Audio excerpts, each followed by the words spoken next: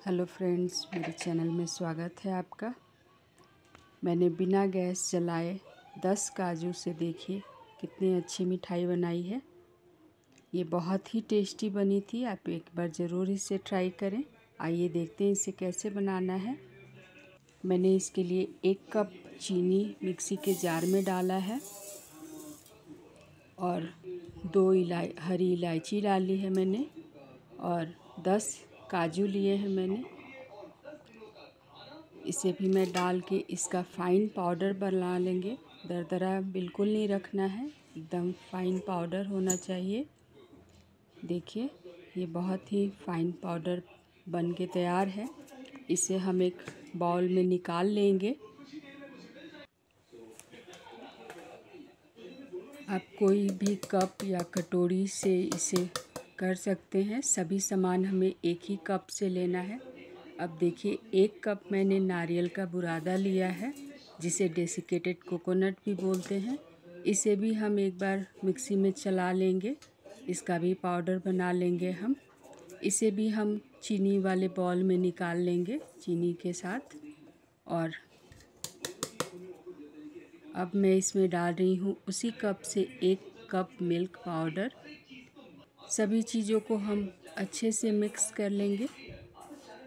हाथ से हम इसे अच्छे से मिक्स करेंगे। ये अच्छे से मिक्स हो जाना चाहिए। उसके बाद मैंने लिया है दूध। ये नॉर्मल दूध है, गर्म की हुई है। गर्म नहीं है, ठंडी ही है। इसे मैंने एक चम्मच डाला है। आप एक चम्मच डाल के हल्के हाथ से इसे मिला लें। ज़्यादा दूध नहीं डालें, नहीं तो ये गीला हो जाएगा। इसे देखिए, मैं किस तरह से मिक्स कर रही हूँ। ऐसे ही आप इसे हल्के हाथ से मिक्स कर लें। अब मैं इसमें डाल रही हूँ आधे चम्मच घी। आप इसमें घी ज़रूर डालें। आधा चम्मच काफ़ी है घी। अब घी डाल के हम मिला लेंगे इसे। देखिए, ये डो के फॉर्म में आ गया है। मैंने सिर्फ़ इसमें एक कप दूध ही डाला है। अब देखिए हम इसके तीन, चार भाग कर लेंगे। हाथों से मसलते हुए हम इसे चार भाग करेंगे।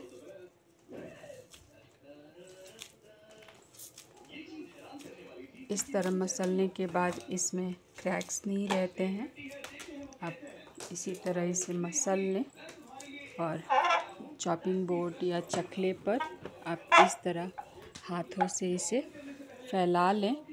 जितना पतला या जितना मोटा आप रखना चाहते हैं, उतना रख सकते हैं। देखिए, मैंने इसे लंबा फैला लिया है दोनों हाथों से। अब मैं इसमें डाल रही हूँ पिस्ता की कतरन है ये। इसे पिस्ता को मैंने बारीक काट लिया है। आप चांदी का वर्क भी लगा सकते हैं। मुझे इसे प्रसाद में चढ़ाना है, इसलिए मैं चांदी का वर्क नहीं लगाऊँगी। पिस्ता लगाने के बाद हम इसे अच्छे से उसमें रोल कर लेंगे। देखिए, ये अच्छे से रोल हो गया है।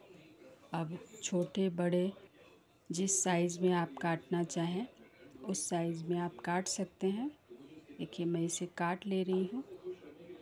आप इस मिठाई को एक बार ज़रूर ट्राई करें। एक बार बना लेंगे तो आपको बाहर से मिठाई लाने की ज़रूरत नहीं पड़ेगी। प्लीज़ इसे लाइक, शेयर, सब्सक्राइब करें। थैंक